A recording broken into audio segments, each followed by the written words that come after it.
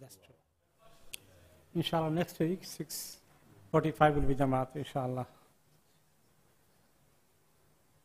Sorry for the wrong information, inshallah.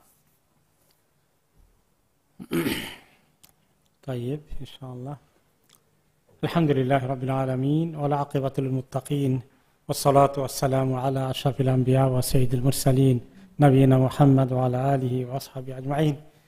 Alhamdulillah, after Ramadan break, break, we are resuming, inshallah, this class of Riyadh al-Salihin, the hadith class, um, which is uh, uh, Imam Nawawi rahmatullahi's compilation of uh, Sahih ahadith from the uh, authentic uh, hadith compilations.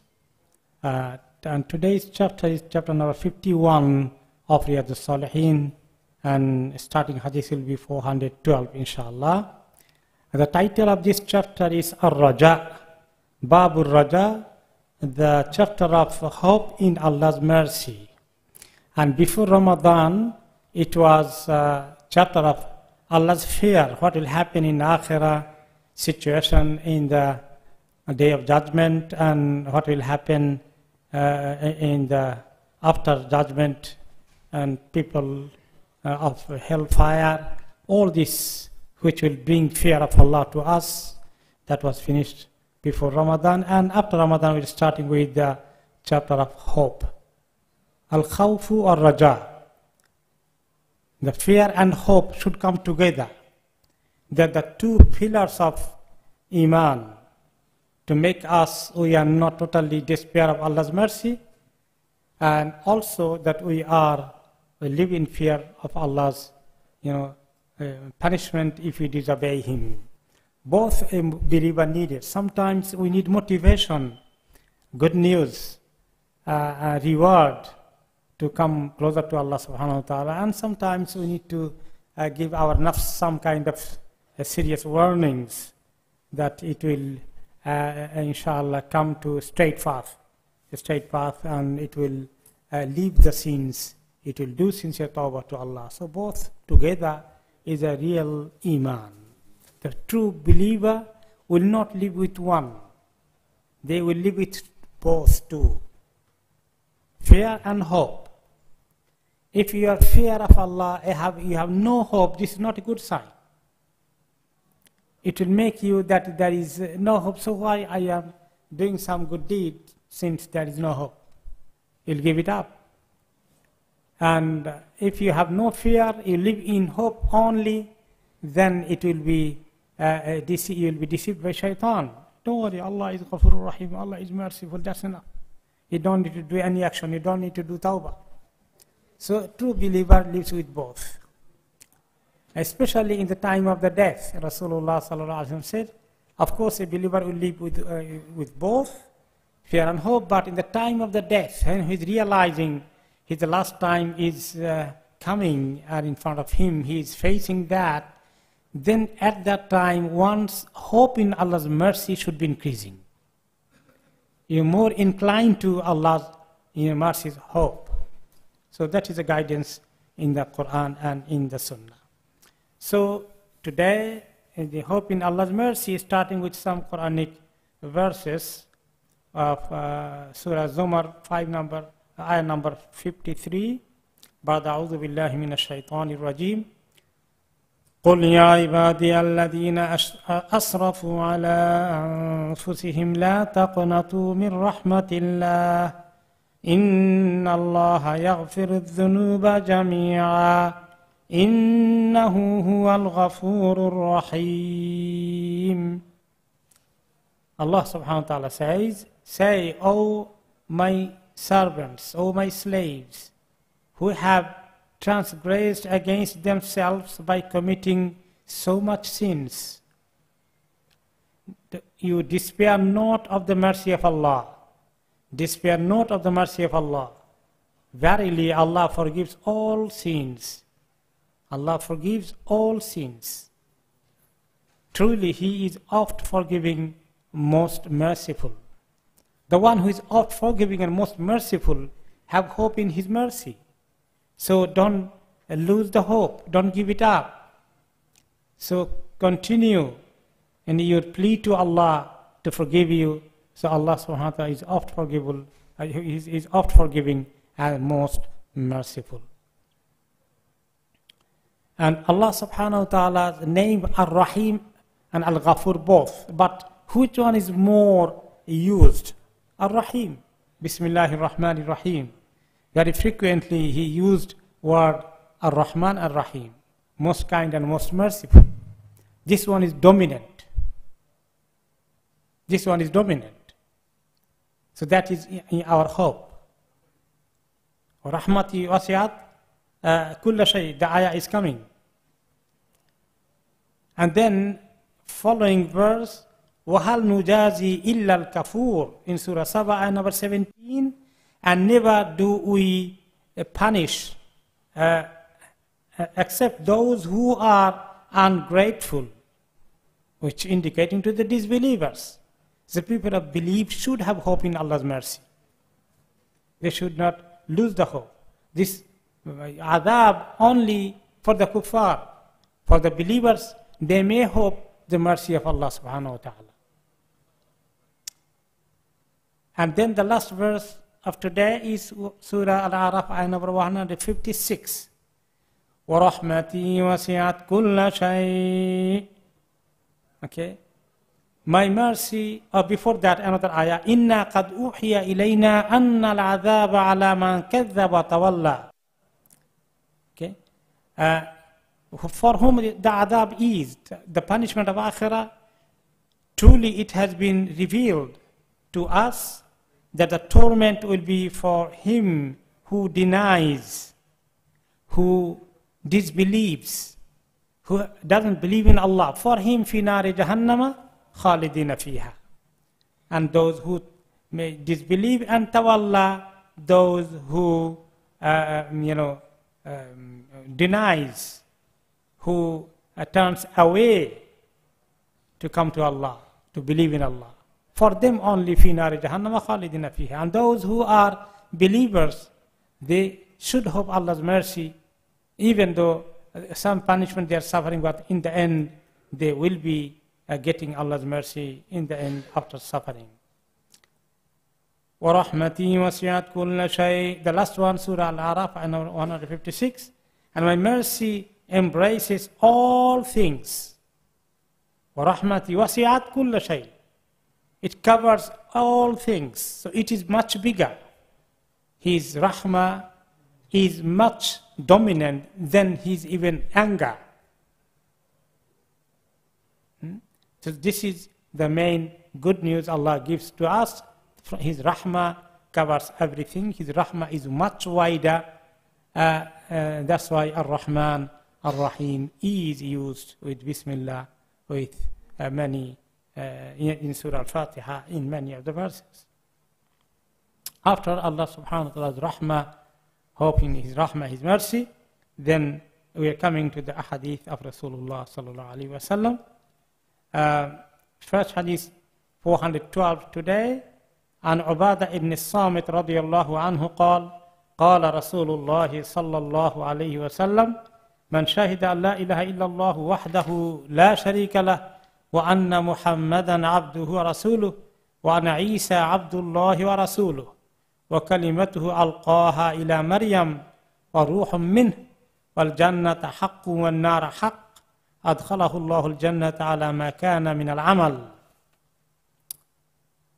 Sahabi Ubadah ibn Samit radiallahu anhu said, the Rasulullah sallallahu said, He who bear, bears witness that there is no true God except Allah alone, having no partner with him, and that Muhammad sallallahu alaihi is his slave and his messenger, and Isa alayhi salam, Jesus is his slave and his messenger, and Jesus is his word, which he communicated to Maryam alayhi salam, and his spirit, which he sent to her, that Jannah is true and hell is true.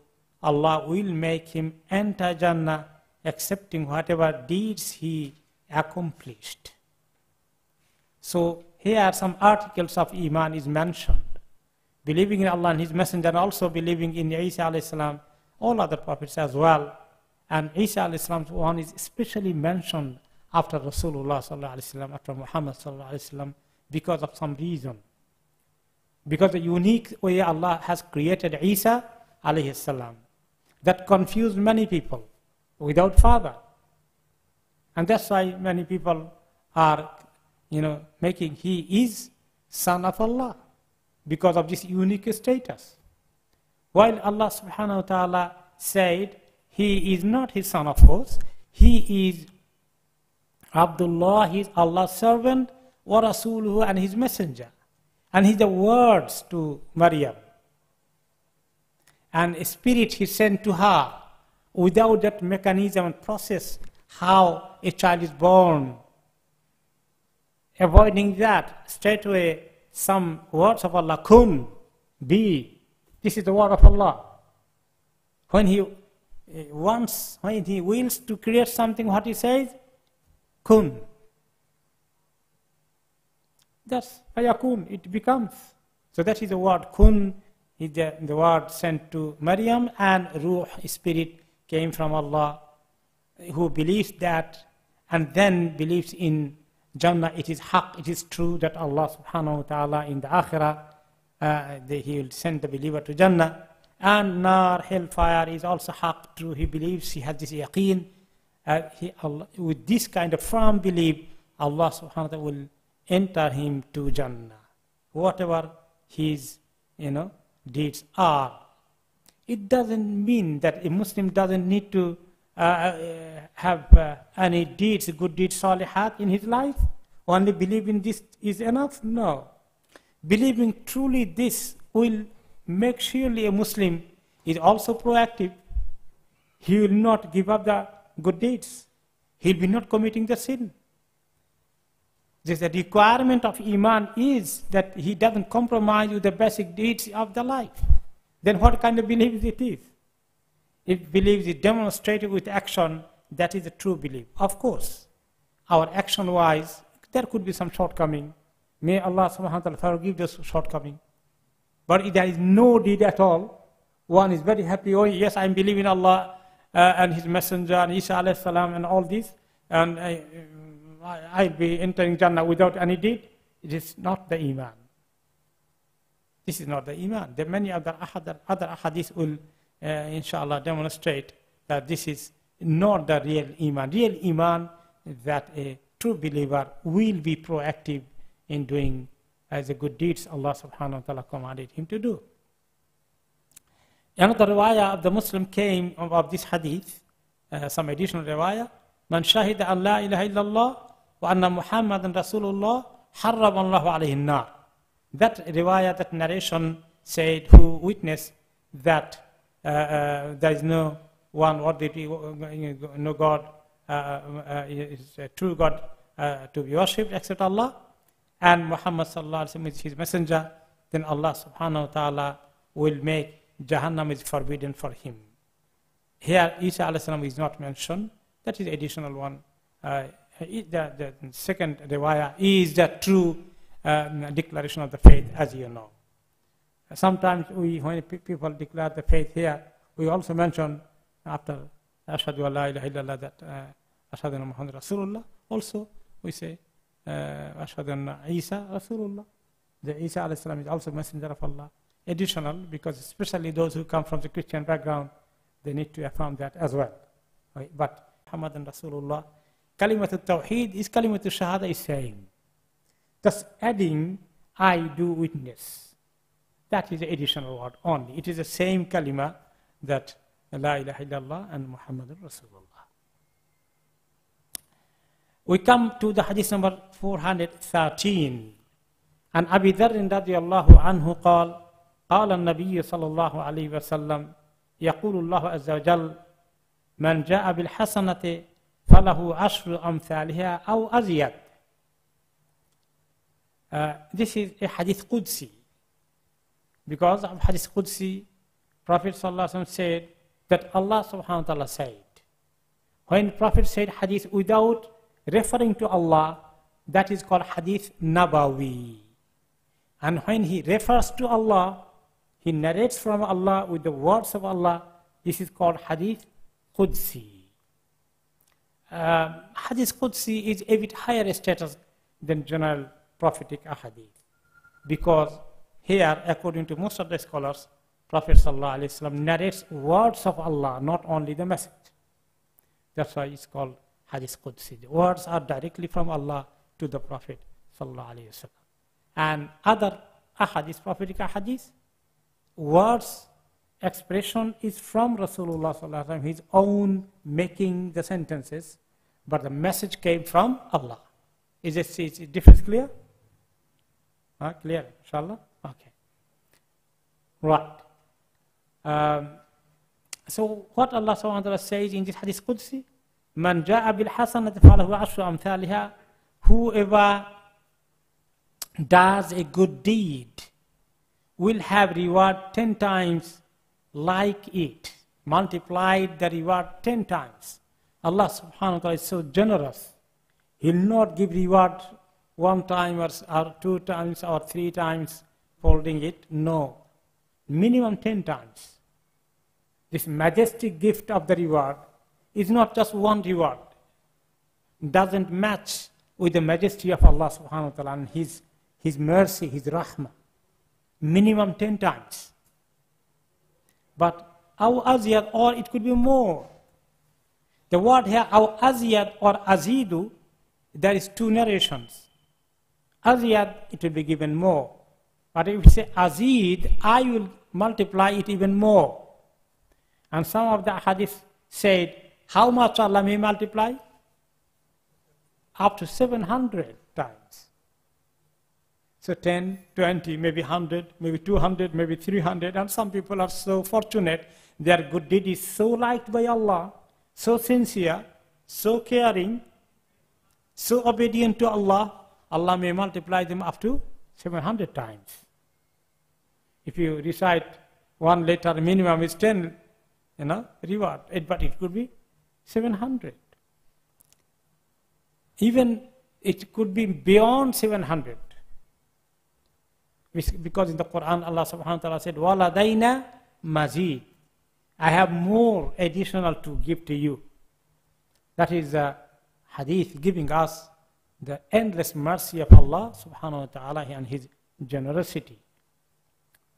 Opposite to that, contrasting other on the sin. وَمَنْ جَاءَ بِالسَّيِّئَةِ فَجَزَاءُ سَيِّئَةٍ سَيِّئَةٌ مِثْلُهَا أَوْ أَغْفِرُ And if somebody committed a sin, okay, whosoever does commit something sinful act, what will have the punishment like it. Similar amount of the sin, one time only. One sin is written, not ten times. But outfit, I could forgive it even. Because the servant committed sin and realized, ask Allah forgiveness. Allah subhanahu wa ta'ala from his own mercy, he could be even forgiving that sin even. That is a mercy of Allah subhanahu wa ta'ala to us. And then he is so inviting us to make us closer to us, closer to us. You know, like sometimes uh, Allah subhanahu wa ta'ala is above any example, I mean similitude. But you can see sometimes the children could be naughty. Know, they did something wrong and they go away from the parents, from the mother. Mother is still inviting, still inviting, still inviting, uh, trying to call. So, uh, because the children don't know. But the parents or mother is so much caring of the ch- children. So they'll not give it up. They'll be hoping child will come to her. There is an example came by one of the scholars he was leading Salah in the masjid. And when he was going to home, uh, you know, uh, he, uh, coming to the masjid, he found a, a, a, young naughty boy is sleeping on the doorstep of his house.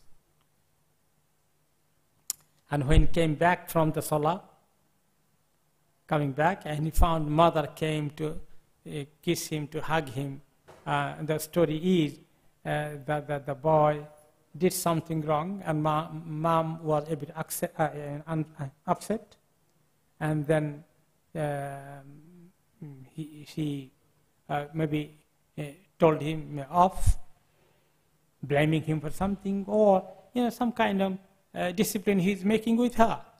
So he gone away. He, he ran away from the home, and he was you know running, moving around maybe a couple of hours, and it is too hot, sunny day, and he became tired, and he was, uh, you know, uh, in the end, coming to the door of the mom, and mom was upset, and she didn't open the door, and stayed in the sunset, uh, in the in the in, in the sunlight, long time, and then he was, you know, fell asleep in sleep. Then after a while, mom came and found son is in the sand, lying down, sleeping, tired.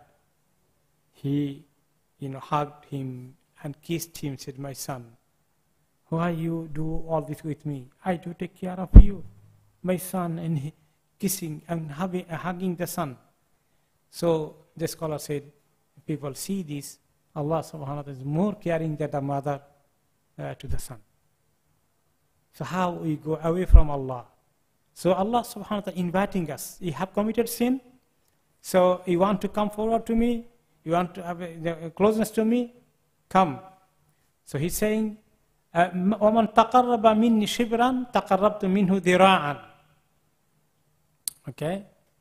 Right? So, uh, whoever come to me uh, by one uh, span, one span, closer to me, I will approach him by one cubit, double the span, towards him to accept his tawbah and to give him tawfiq. وَمَنْ تَقَرَّبَ مِنِّي ذِرَاعًا تَقَرَّبْتُ مِنْهُ بَاعًا And whoever approaches me by one cubit, I approach him by one fathom, double. وَمَنْ أَتَانِ يَمْشِي أَتَيْتُهُ هَرْوَلَةً And whosoever comes to me walking, I do go to him running to rescue him, to hold him, to bring him forward. So, if we are walking to Allah, Allah subhanahu wa ta'ala is running to us, meaning He is more keen than even us. That is His mercy. ومن لقيني بقراب الأرض خطيئة لا يشرك بي شيئا لقيته بمثلها مغفرة and who meets me with an earth load of sins. His sin is so much, whole planet, planet is full of his sin. And he comes to me, he dies without any uh, shirk with me, without associating anything with me. I meet him with forgiveness like that, like same amount. So with the tawheed, pure tawheed, may Allah forgive many sins. That's why the importance of tawheed in our life that we are away from any kind of shirk.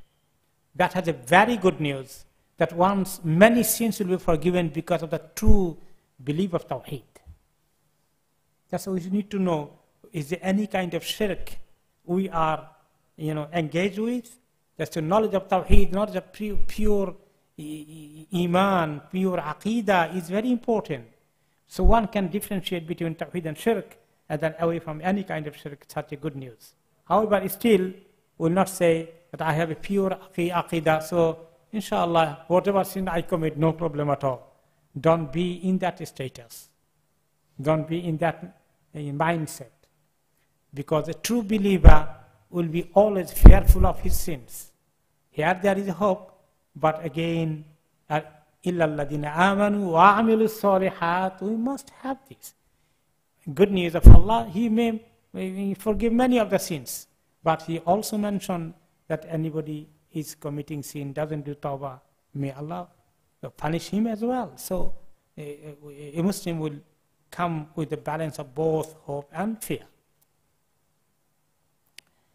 Then coming to hadith number 414, عن جابر رضي الله عنه قال جاء أعرابي إلى النبي صلى الله عليه وسلم فقال يا رسول الله ما الموجبتان فقال من مات لا يشرك بالله شيئا دخل الجنة ومن مات يشرك به شيئا دخل النار Jabir anhu reported that a Bedouin came to the Prophet wasallam and asked a question, O Messenger of Allah, what are the two imperatives which lead to Jannah or hell?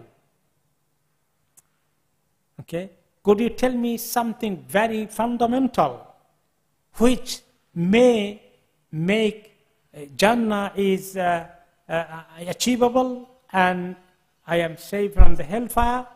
Or other way, what two main reasons people may end up going to Jahannam and will be missing Jannah? What are the main things, Ya Rasulullah, you must tell me for my you know, assurance that I am going to Jannah and I am saved from hellfire. Then he said, Man mata la billah shay'an dakhla jannah who, who dies in a state that he doesn't commit any shirk with Allah.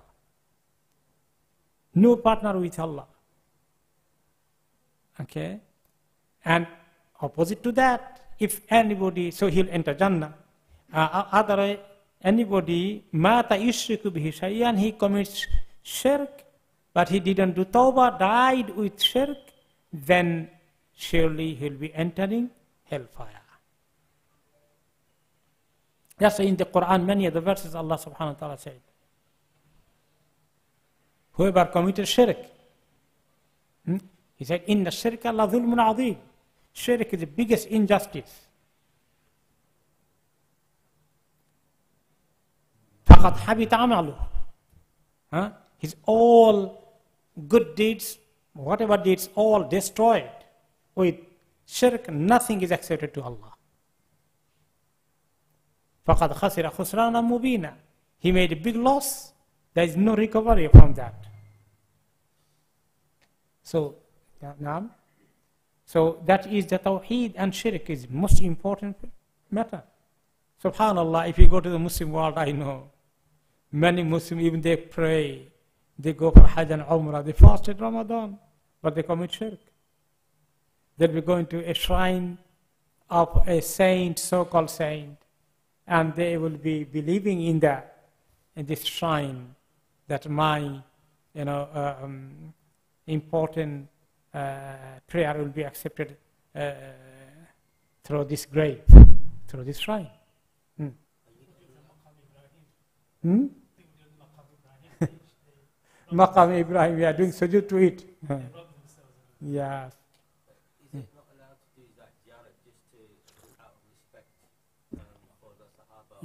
Hmm.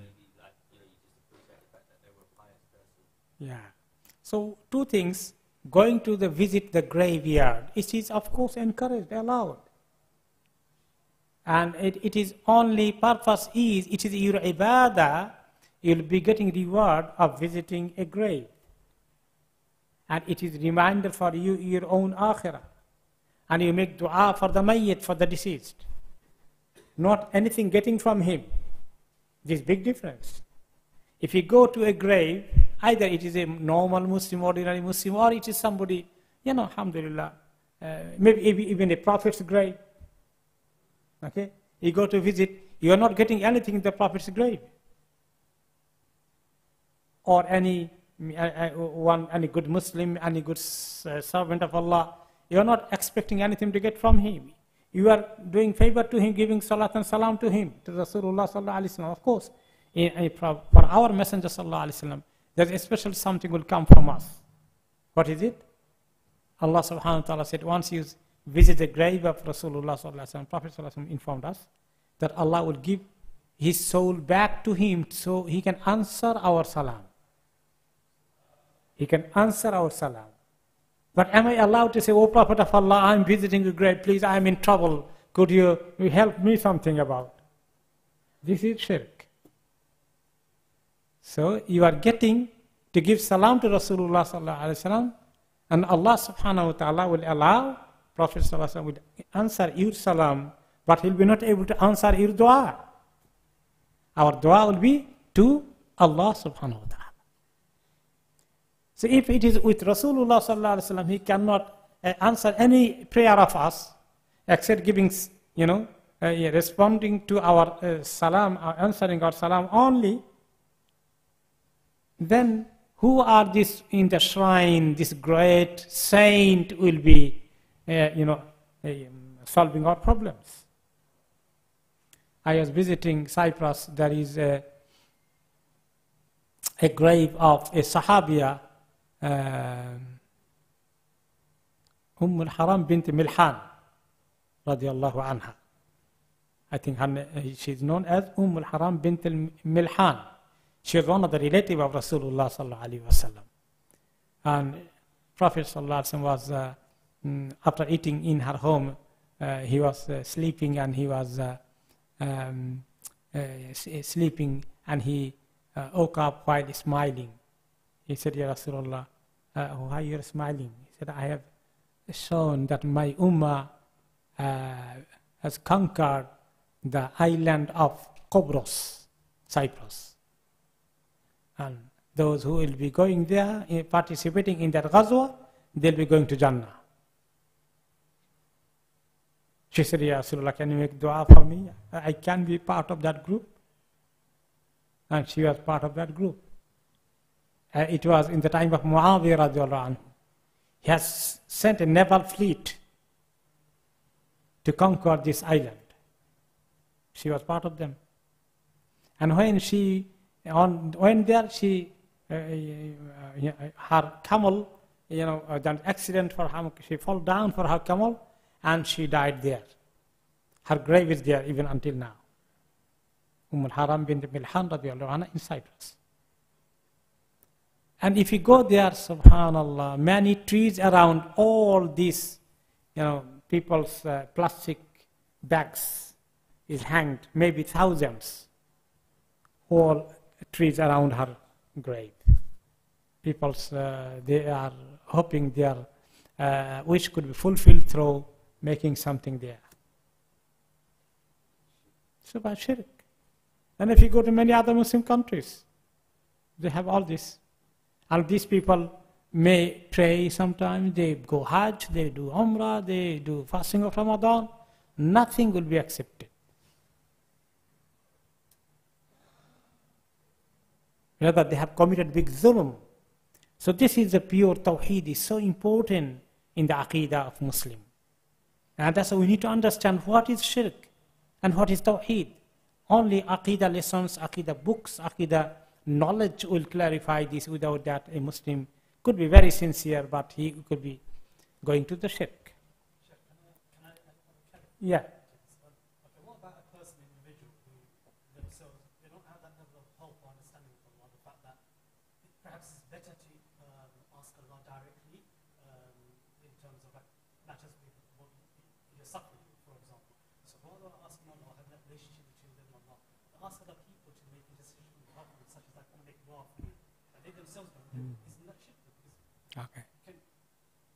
Brother is asking a question. Yeah. Of course, uh, is it allowed for us to ask someone, brother, can you make dua for me? I'm going through such difficulty in my life. Can we ask, is it considered, is it shirk? If somebody is alive and somebody is dead, big difference first of all here. The one who is dead, he is disconnected from us. He cannot do any dua for us. Allah didn't allow for him to make any dua.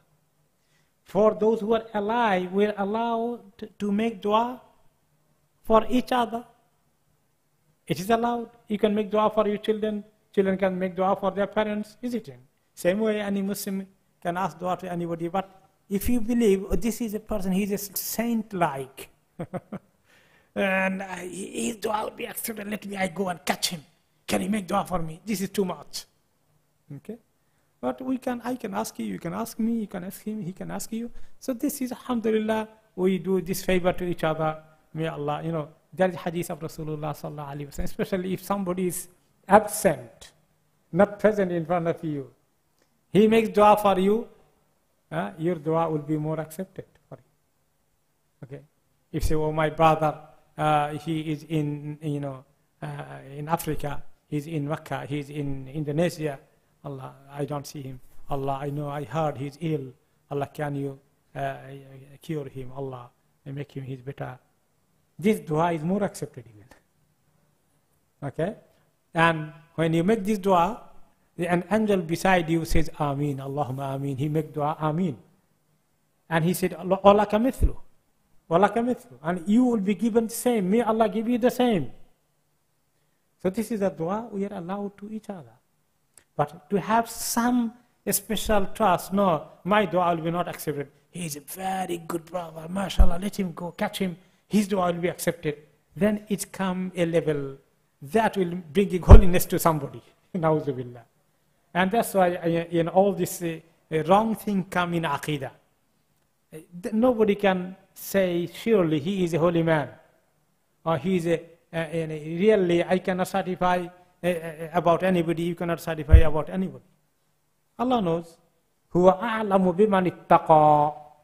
Allah knows who has more taqwa. Who have a good faith of everyone. Alhamdulillah, that's fine. Alhamdulillah. Jazakallah khairan. So big difference. The one who dead, khalas, we don't ask him, them anything. But those who are alive, even like I can ask you a favor, can you give me a lift? Uh, I have some difficulty. Yes, it's allowed. Way, can you make dua for me? Yes, it is allowed. Alhamdulillah. Right. Now, another hadith narrated by Sahabi Mu'adh radiallahu anhu, when he was riding uh, on the beast, on the animal with Rasulullah sallallahu alaihi wasallam, maybe a camel, maybe a donkey.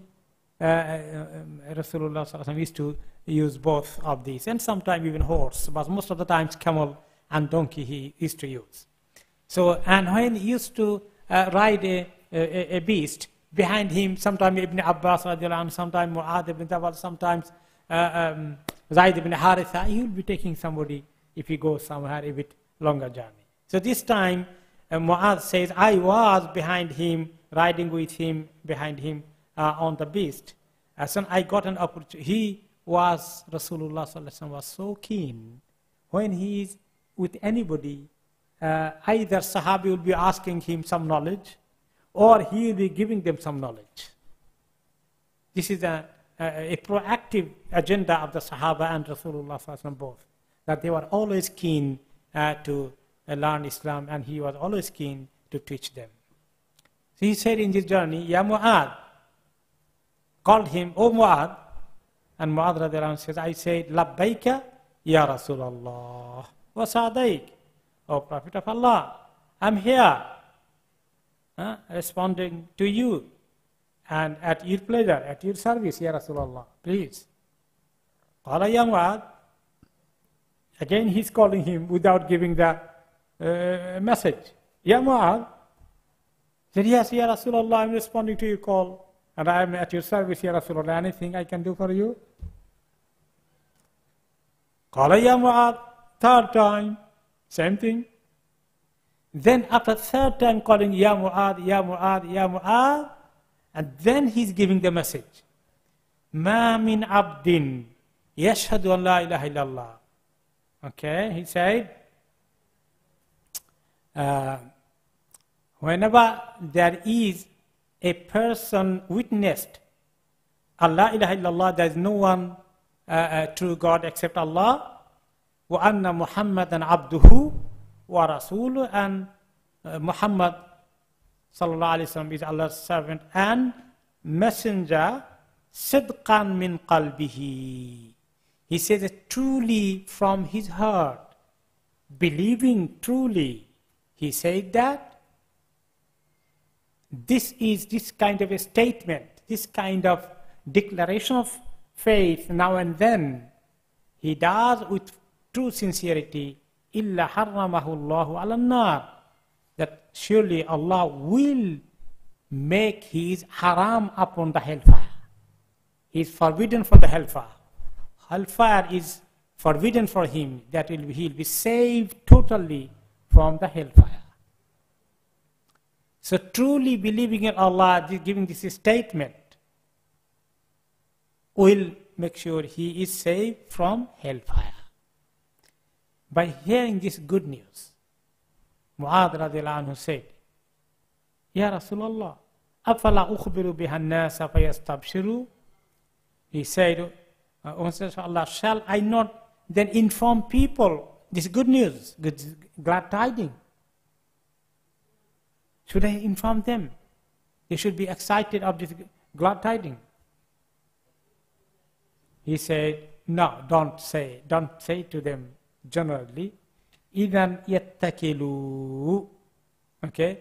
Then they will rely on it alone. And they will not proactively doing any good deeds. I truly believe in Allah and the Messenger. خلاص.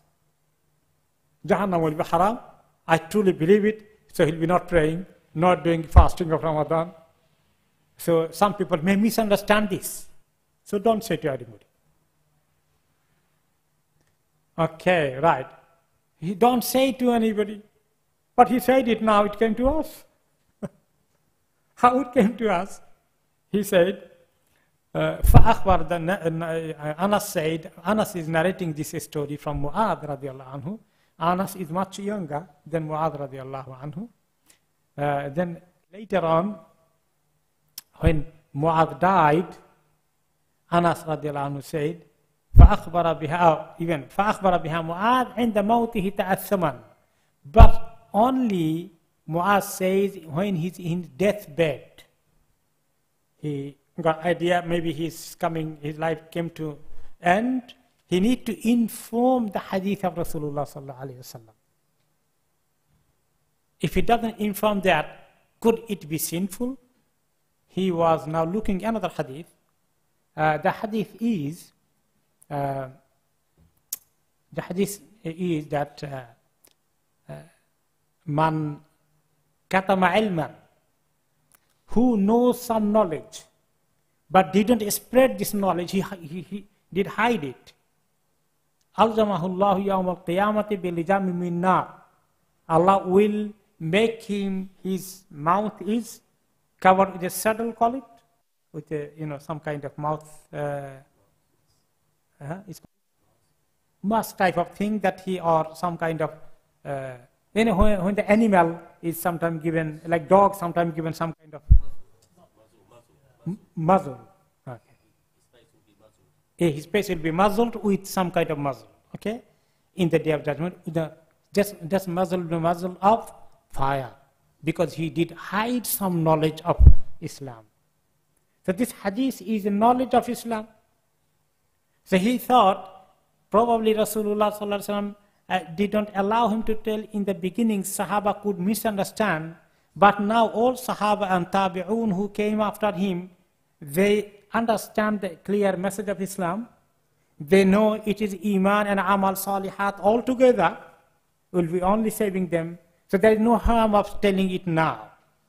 And if I don't tell it now, I may be hiding the knowledge and dying with this. I don't want to die with this. That's why he said it. So it came to us. So there is no room for someone to misunderstand. Iman only is enough. Okay? That is the position of people of Murji'ah. You have heard about people of Murji'ah? It's called irja, that you only live in hope of Allah's mercy. I believe in Allah's mercy. And uh, with the Iman, no sin is a problematic for you. This is the position of people of Murja. That if you have Iman in Allah, there is no fear for you. Khalas. So this is their position. They got it from Christianity. I was um, reading one Bible in Arabic. It came to, to me. And I found they said, uh, you know, the, the Bible says, if you are looking for a good deed, then you don't believe in Jesus. Then there is no service of Jesus. The main service is just believe in Jesus. And khalas, through that you get automatically forgiveness of all sins. But if you go for action, as if you don't believe with the Jesus. Subhanallah. So the, the people of Murjia got this in, influence from the Christianity. That believe enough for you. Allah is Ghafur Rahim, Allah is merciful, all this. Why you need to put action? Then why Allah is merciful? Why Allah is Ghafur Rahim? Absolutely, they are the two opposite sects. One is Khawarij, one is Murji'ah. Khawarij says, if you are committing Kabira sin, khalas. Eh, eh, eh, you are not in Islam. You have no hope. Ahlul Kabair, those who committed major sins, they should be going to hellfire. And Murjia say, don't worry, you just have in Iman Allah, Allah's mercy will take you. Don't worry. So this is the two opposite sects in Islam. Okay? Yeah. Regarding the knowledge, like, like we come to the class, Mm. you know, we learn something. Mm. Would that apply to us? Because a lot of time you can't go and tell people they don't want to listen to you. Okay. So uh, the question is uh, that if you are uh, learning, coming to the circle, learning, and you tell others they're not believing you, is it? No, no, you, you, you can't tell people what you learn because people are not really wanting to listen to what you have to say unless you're in an environment where you're teaching someone or you're telling someone. Mm. It's like generally a lot of us, we don't tell everyone what we learn Mm. because we keep it to ourselves and we try to do amal. Okay, I understand now. That we, what we learn from the circle, from the knowledge, from the kitab, from the lecture, you know, eh, eh, we don't eh, normally spread this knowledge within ourselves. Is it not considered as a sin that you learn, you did not spread it? Yes, up to a certain extent, that's true.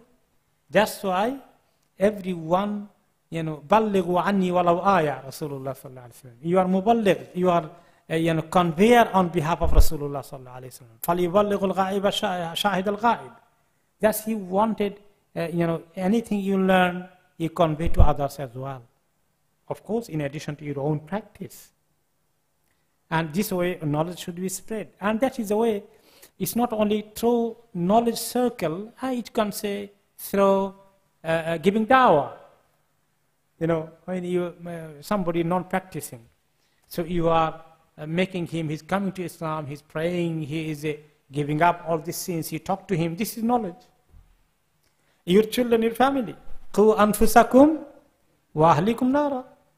You save yourself and your family, your wife, your husband, your children, uh, all household from hellfire. So this is an obligation. This is an obligation. There, there is a limit of obligation and there is a levels of obligation, of course. The one who is more knowledgeable, more in a position of informing others, like an imam, you know, he has bigger duty.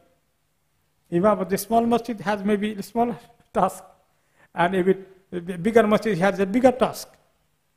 The one who has access to the more, you know, uh, uh, opportunity he has, his, his volume of, of task is increasing.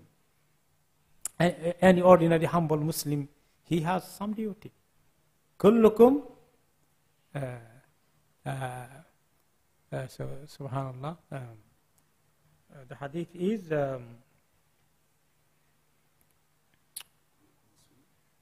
كلكم راعنا كلكم مسؤولون عن رعيته. يس جزاك الله خير. كلكم راعنا كلكم مسؤولون عن رعيته. Every one of you shepherd. And you'll be answerable for your own flock. This is family this could be mm, a wider uh, responsibility of leadership and uh, influential position you are responsible for that okay so, and uh, everyone is da'i ila Allah. كنتم خير أمة أخرجت للناس تأمرون بالمعروف وتنهون عن المنكر. We have gone through this chapter before. So every a Muslim is a da'i as well. And da'wah has different, you know, according to your lev- level and your ability and your situation. So nobody is uh, totally for himself. Okay, so yes, whatever we learn, we try to practice and try to also communicate to others. This is amana of the ilm. That's true. Jazakallah khair. And then coming to hadith number 416, uh, it is a long hadith from Sahabi Abu Hurairah radiallahu anhu and also another Sahabi Abu Sa'id al-Khudri radiallahu anhu. Both of them narrated, uh, uh, or uh, the, the narrator from him, it was confused. It is Abu Hurairah or Abu Sa'id al-Khudri. Okay. Uh, then it is the story they are narrating from Ghazwat Tabuk, uh, in, the, in the expedition of Tabuk. Okay. What happened? Tabuk was a, uh, you know, uh, expedition Rasulullah sallallahu alaihi wasallam, uh, you know, uh, went for to face the Roman, um, you know, uh, force. Although battle did not take place, but it was a difficult journey of hundreds of miles from Medina uh, to to go and come back. Uh, and in the, this long journey, they carried with them some kind of food, and in the, in the middle of the journey, food came to uh, shortage and many other uh, suffering. A lot of miracle happened. Rasulullah made dua in, in, a, in, in a fountain, which was almost dried. Little bit of water left, and he make his udu, and he uh, made dua to Allah subhanahu wa ta'ala and throw back udu water to the fountain, almost the dead fountain, dried fountain, and it became full of water. So many of the miracles happen in this journey. So one of the miracles story is narrated by the Sahabi, uh, the Asaba Nasa Maja'atan. Okay, the people uh, are you know uh, you know uh, his, that uh, uh, you know some kind of uh, food shortage started over there, and then فقالوا يا رسول الله لو أذنت لنا فنحرنا نواضحنا فأكلنا ودهنا They asked him permission, if he grant us permission to slaughter our camels to eat and use their fat for our, you know, to, you know, eating the flesh. And fat could be staying longer time. Later on, they could be using this fat, warming it, heating it, and then eating with the bread, of course. That's what they are referring to. فق- uh, okay. فقال رسول الله صلى الله عليه وسلم افعلوا and uh, he uh, ordered okay do some slaughter some of the you know uh, camels uh, slaughter it alhamdulillah we need to eat something because all food came to end now we have to eat out some of the uh, camels uh, you know um, to slaughter and uh, we have to uh, live with some food then Umar radiallahu anhu came uh, uh, the, that, that many of the camels are slaughtered. If more camels is slaughtered, then their journey to the Tabuk will be difficult. Maybe if there's another day they are again slaughtering, then what will happen? Uh, uh, at that time, it is only vehicle they have. So Umar radiallahu anhu Rasulullah, qalla dhahar, O Prophet of Allah, that, um, that the, uh, many of the camels are slaughtered, and, and we shall suffer from lack of transportation after you know a few days. It's not a good idea to slaughter the animals or the camels this way. Then Rasulullah said, "Walakin ud'uhum bifadli azwadihim." He also re- requested, "Ya Rasulullah, if you make dua to Allah, what is the remaining food we have that Allah give more barakah that we don't need to slaughter any more the camels?" Okay, so make dua that we don't need to slaughter further our camels. The remaining food cannot you make dua a barakah, so Allah make barakah in our remaining food. Okay, right. Then Rasulullah sallallahu alayhi wasallam said, Naam, okay, good idea, fine. Then uh, so then a big, uh, you know, uh, kind of, uh, uh, you know, a leather of the animal, eh, a mat from, from the leather made on the floor. Okay, and he eh, told the people, they bring all of your food here. Okay, so everybody came with their remaining food stuff. Somebody had a little bit of corn left with him, little bit of bread left with some of the, you know, mm, uh, amount of the dates left. Uh, so people brought all this food stuff they had. He said, make piles. The dates are one pile, the breads are one pile, the other stuff one pile, make all here in this mat. So they brought all this to him, and Rasulullah sallallahu alaihi wasallam, uh, he said, he, uh, in, when all put together, he make dua to Allah, oh Allah subhanahu wa ta'ala, give barakah in our food. Okay? So he made dua to Allah subhanahu wa ta'ala. Then he said, Khudu fi awiyatikum. Okay? And then said, bring all of your empty buckets and bags and boxes and fill this food. Ya Allah, fill this food. Okay? Okay. And they made all empty buckets, all empty baskets, all empty bags food of food stuff. And Sahaba are very pleased. Alhamdulillah. MashaAllah, the shortage of food, the food crisis is gone. Then after see their happiness, and they, they have ate, mashallah, they have, uh, mashallah, kept for something for future, mashallah, good.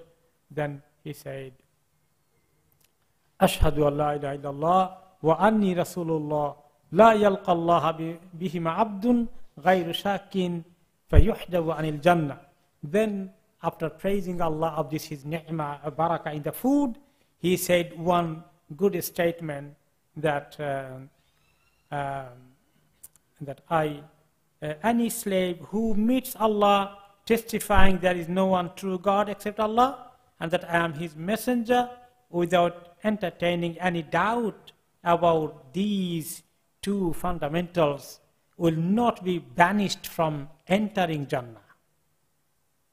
So anybody having this shahada, this iman, this tawheed, uh, uh he meets Allah without any doubt. He has firm belief in this. Jannah, he will be not deprived from Jannah. He will be having given access to Jannah. So again, this is reaffirming this pure Tawheed Kalimatul Shahada with that firm belief secure Allah subhanahu wa ta'ala's pleasure and Jannah. Again, not without deliberately missing all good deeds now. But the Shahada itself is very powerful. And good Shahada, good Iman will bring all good deeds with. And any Shahada without farm, without, act, without some kind of practice, without basic requirement, is false claim of Shahada. That could not be true belief. True belief must be pushing you to do good deed. I remember back home somebody I know very he died now, may Allah forgive him. He's a Muslim. Was not used to pray. Not used to go. I know him. He seldom on Friday maybe he'll be praying. And he, he was almost neighbor of us. So many years ago, around 30 years ago probably, I told my brother, you know, he goes to his home. Between my home and his home, there is a graveyard. He goes across this graveyard too. I say, you know, see all this grave here. He crossed these graves every day, you know, coming and out. Day. One day he'll be go, not going there. So why don't you fear, fear Allah? Don't you pray? My brother, don't worry. Allah is oft merciful. He's oft forgiving. He's merciful. He's kind. Allah is Rahman Rahim. This, this uh, true belief is right, but it is true belief will not make him is only saying that. True belief will push him to do the basic duty of Islam. Then hadith number 417, the last hadith today, inshallah, عن عتبان ibn Malik رضي الله عنه وهو ممن شهد بدرا the Sahabi Itban who witnessed Battle of Badr this is a special status you know Sahaba Badriyun those participating in the Badr, they are in the good book of Allah. They have the, you know, you know almost the first uh, category of the Sahaba. And followed by those, um, those um, uh, became Muslim after Badr, Battle of Badr. So big, uh, uh, one class upper than other people who took Shahada after Battle of Badr because many people are writing in Arabia, see first battle, see which who wins in the battle. battle. If uh, Arab uh, Quraysh wins, that they are right. If Muhammad wins and people of Medina, he is right. So some people see the smaller number got victory against a bigger number of Quraysh. Then other Bedouin, other Arab people say, oh yeah, it seems he is right this uh, Battle of Badr given this evidence. So now we can take Shahada. okay. So they fall in the second category. And some people waited for the third category. When Prophet conquered Makkah, they are waiting for the see Makkah and Medina having this, you know, many battles. See, in the end, who is getting the upper hand? When the Makkah fall, uh, Makkah is conquered, then remaining people of Arab Peninsula took Shahada. They are in third category. Okay? So that's why Badri Sahabi are so fortunate they will be in number one list. Kunt usalli li qawmi bani salim. This Sahabi Uthman said, I was leading my prayer, my, my uh, you know, local Musalli's prayer at my tribe. I was the Imam. وكان يحول بيني وبينه واد إذا جاءت الأخطار. Okay. He said, I come to Medina and I went back to my family to lead their, their salah late. So every time I come to Medina I, uh, and I go back, they wait for me to pray behind me, especially Isha.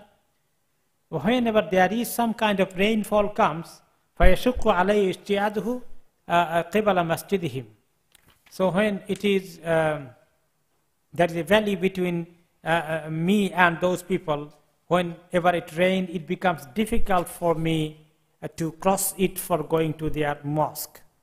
So I came to Rasulullah sallallahu and I said to him, Ya Rasulullah, inni ankartu basari al-wadi alladhi bayni wa bayna qawmi yasilu idha ja'at al-amtar.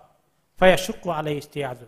Ya Rasulullah, you can see I am now weak, my eyesight because of old age, and I know I need to go to my uh, family home to lead their prayer at the, my local village.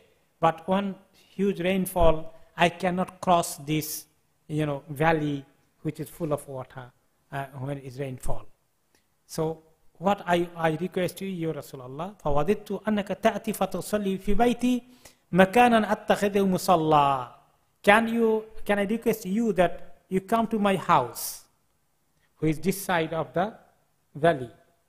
So you may pray in my house, in my prayers uh, in space. So I later on, when my eyesight will not allow you to come to Medina to pray behind you, and then going coming back to my home. So I that time, if I'm unable to attend, at least I will be having some kind of comfort that I'm praying in the same space where my Prophet prayed for me. So I am missing maybe going to attend prophetic masjid to pray behind you. Can you do this favor for me? Then he said, Sa'afal, I'll do it. So Rasulullah came, fixed a day, following day, and he um, um, took a journey to that village. Uh, with him, Abu Bakr anhu, uh, uh, together.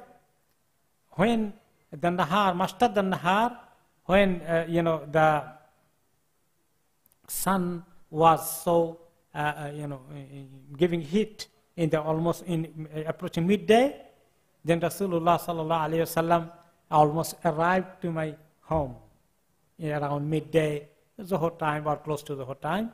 فَأَذِنْتُ لَهُ He was asking, seeking permission. Can I enter to your home? I have given him uh, permission to enter my home. And he said, he didn't sit down first. He said, أَيْنَ تُحِبَّ نُصَلِيَ مِنْ بَيْتِكَ Show me the place, the corner. You would like that I will be praying there. فأشرت له إلى المكان الذي أحب أن يصلي فيه. So I was indicating to the corner at the place which I would like him to pray there. فقام رسول الله صلى الله عليه وسلم فكبر وصففنا وراءه. Prophet صلى الله عليه وسلم stood up to pray, started, and he did takbir, tahrim Allahu Akbar, and we lined behind him, make the uh, saf, فصلى ركعتين. He led our two rakah salah. It could be some kind of nafal prayer, not the first one. ثم سلم and then he made taslim salam to both sides coming out of the salah. وَسَلَّمْنَا حِينَ سَلَّمَ We did finish salah with him. فَحَبَسْتُهُ عَلَى خَزِيرَةٍ تُصْنَعُ لَهُ Then I detained him for a meal called khazira, some kind of their local dish I made. Uh, uh, then فَسَمِعَ أَهْلُ الدَّارِ أَنَّ رَسُولَ اللَّهِ صَلَّى فِي بَيْتِي Then what happened? I made this meal for Rasulullah sallallahu alaihi wasallam and with one guest with him, of course, this uh, small amount of food, the khazira, our local food, local dish. Then people around our village, all, everybody heard Prophet ﷺ is visiting my home. They all came now. فَثَابَ رِجَالٌ مِنْهُمْ حَتَّى كَثِرَ الرِّجَالُ فِي الْبَيْتِ Many people run, rush to my house, and my house is full with the men now. what I do now with this food now, with for Rasulullah sallallahu alaihi wasallam and another person. فقال رجل ما فعل مالك لا أراه. Hmm.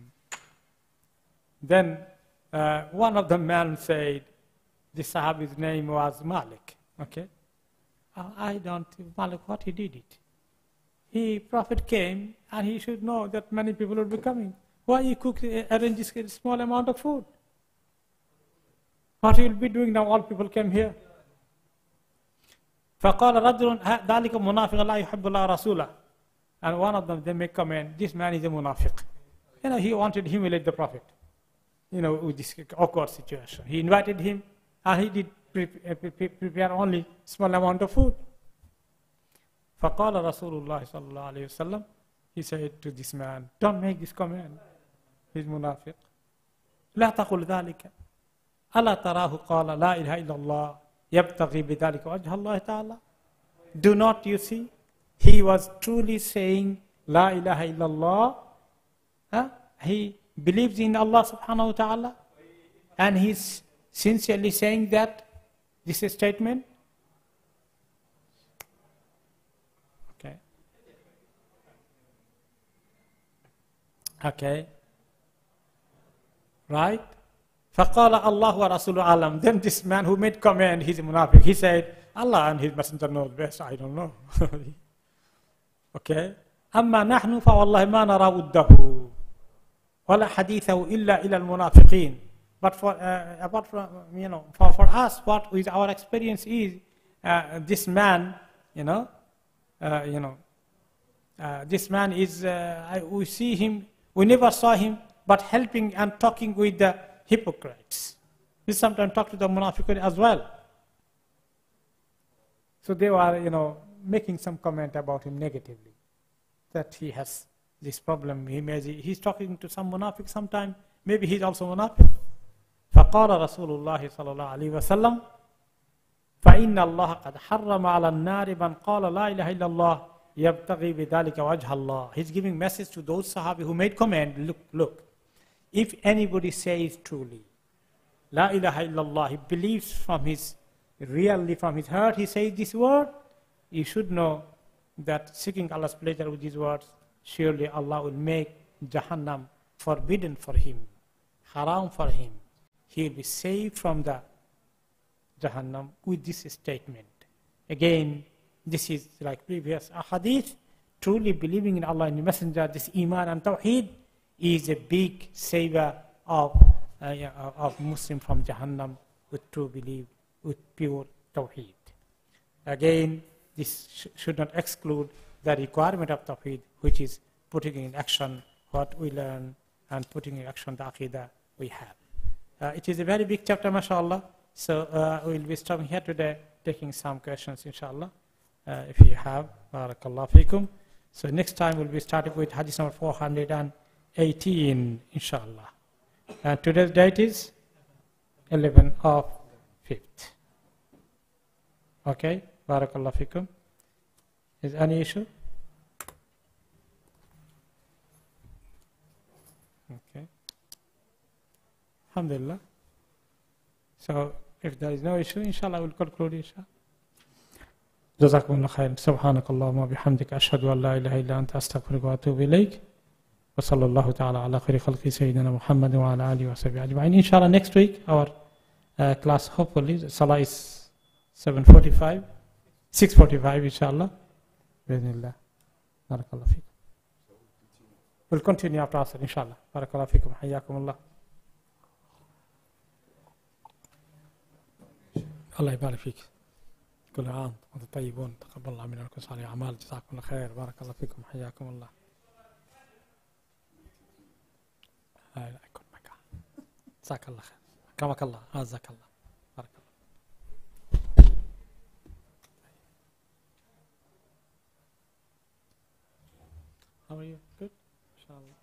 How